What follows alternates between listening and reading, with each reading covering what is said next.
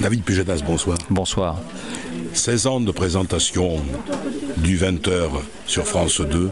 Un nostalgique Ah non, pas nostalgique. J'ai adoré faire ça, j'en ai bien profité, j'ai vraiment aimé, mais la page est tournée et j'ai d'autres projets, j'ai d'autres envies. Euh, une vie, c'est plusieurs vies.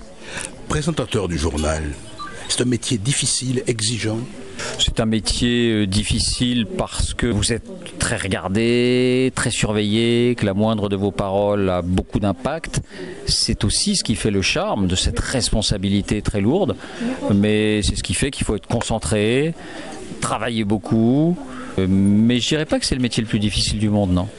Comment ça se passe? Faites-nous pénétrer un petit peu dans une rédaction d'un grand journal télévisé ah bah Vous avez à peu près 150 ou 200 journalistes qui y travaillent quotidiennement et chaque matin, euh, vous faites des choix sur euh, ce que seront les dominantes du journal. Donc vous dites, bah, ce soir, on va mettre le paquet sur Trump et le protectionnisme. Alors vous appelez le correspondant à Washington et vous lui dites euh, comment on voit les choses là-bas. Il vous parle de tel et tel aspect. Alors vous dites, bah, tiens, fais-nous un reportage sur telle ou telle chose.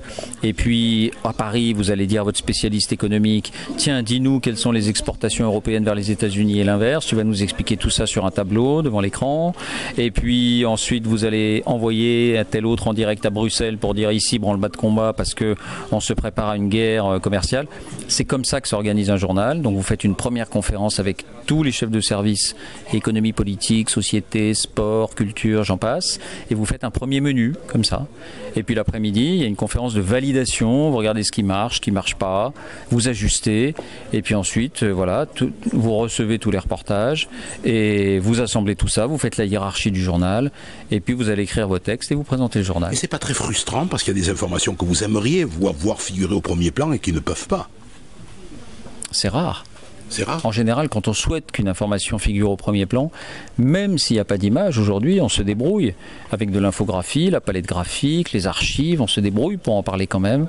Euh, et puis le temps qu'on envoie quelqu'un qui va nous envoyer ce reportage.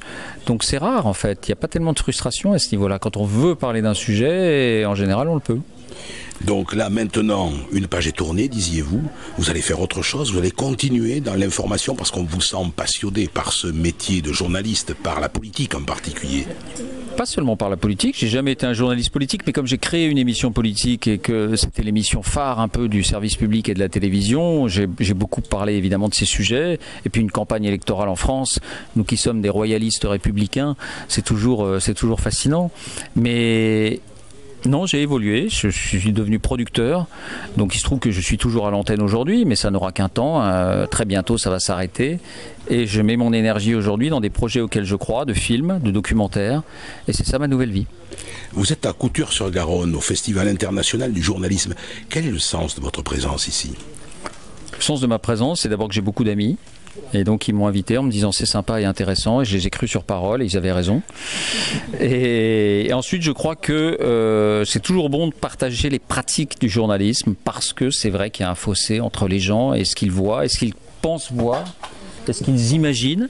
Et donc c'est toujours une bonne chose d'expliquer son métier. Je l'ai beaucoup fait pendant toutes ces années de, 20 heures, dans les salles de classe, euh, auprès des gens, et je continue à le faire. Voilà. Et j'ai plaisir à le faire. J'adore parler de mon métier. David Pujonas, il y a une vie après le journalisme Il abuse, hein Bien sûr qu'il y a une vie. Bien sûr qu'il y a une vie, mais vous savez, le journalisme, c'est pas un métier, c'est une passion. Et même si vous êtes producteur, vous continuerez d'une certaine manière à avoir un regard sur le monde qui se rapprochera du journalisme.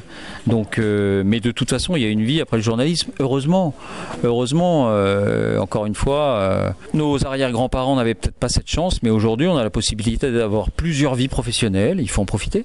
Merci beaucoup, David Pujadas. Avec plaisir.